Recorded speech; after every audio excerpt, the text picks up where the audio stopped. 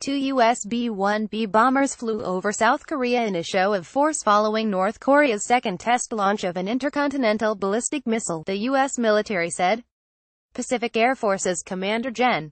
Terrence J. O'Shaughnessy said in a statement Saturday night ET that North Korea remains the most urgent threat to regional stability.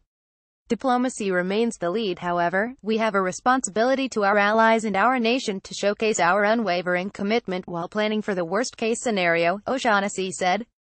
If called upon, we are ready to respond with rapid, lethal, and overwhelming force at a time and place of our choosing.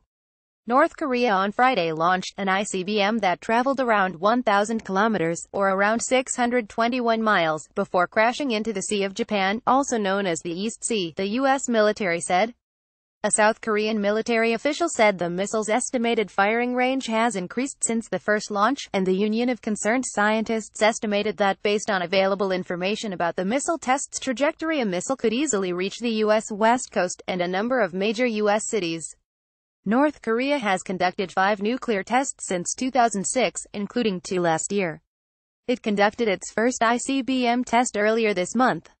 The B-1 bombers took off from Guam and flew to Japanese airspace, where they were joined by Japanese F-2 fighter jets, the U.S. Pacific Air Forces said. The U.S. bombers then flew over South Korean airspace and were joined by South Korean jets, and the U.S. bombers performed a low pass over Osan Air Base before returning to Guam, according to the Pacific Air Forces.